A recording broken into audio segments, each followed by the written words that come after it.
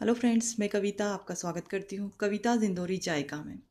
आज मैं बना रही हूँ कुकुम्बर एंड मिंट मॉकटेल।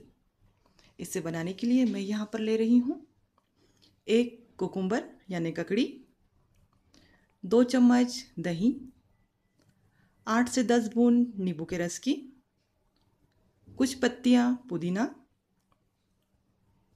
कच्ची केरी लिए मैंने यहाँ पर एक चम्मच। एक हरी मिर्च और थोड़ा सा काला नमक।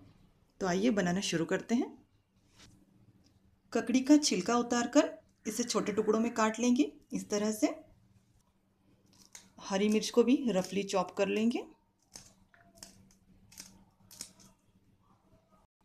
एक मिक्सर जार में मिंट, ककड़ी, हरी मिर्च, कच्ची केरी इन सभी को डालकर अच्छे से बारीक पीस लेते हैं। ये देखिए, मैंने इन सभी को अच्छे से बारीक पीस लिया है। अब हम इसमें काला नमक डालेंगे।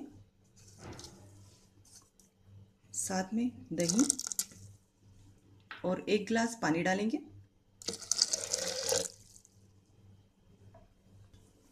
इन सभी को अच्छे से ब्लेंड कर लेते हैं। मॉकटेल बनकर तैयार है। आपको मेरी आज की रेसिपी पसंद आई हो तो इसे लाइक कीजिए और भी इस तरह की रेसिपीज़ देखने के लिए मेरे चैनल को सब्सक्राइब कीजिए।